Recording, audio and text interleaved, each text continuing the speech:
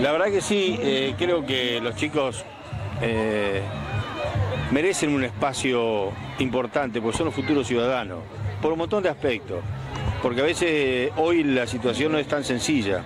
No todo el mundo puede o tiene la oportunidad de festejarlo el día. Y hacerlo un poco social y festejarlo entre todos creo que nos une un poco. Por eso es esta la idea y que compartan, que pasen un día especial. Por suerte el tiempo hoy nos acompañó.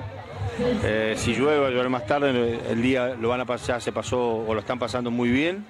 Entregarle premios a todos, que te puedan pasar un lindo día y de esto se trata la vida, de compartir, de, de, pasar el día a día lo mejor posible. Hay una movida interesante porque estuvo todo muy bien organizado, hay un sector de, las chicas que están haciendo la leche, el otro sector de las chicas que están pintando con los chiquitos, después los más chiquititos que juegan en un sector, aquellos que están jugando con, con los juguetitos escondidos para no ser lastimados, todo muy bien organizado, los, inflables de este lado, el fútbol de atrás, el escenario.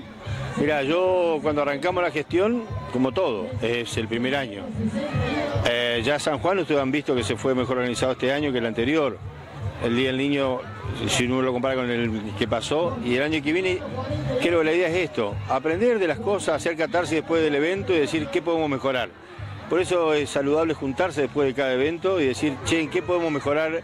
¿En qué le erramos? ¿En qué podemos...? Bueno, y esto hace que cada vez se pueda ir mejorando. Yo la verdad que le felicito a todo el equipo de trabajo.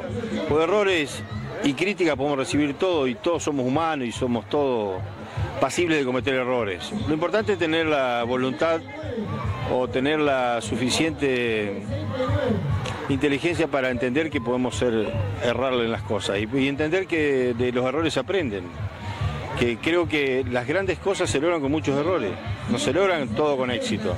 El éxito es el final.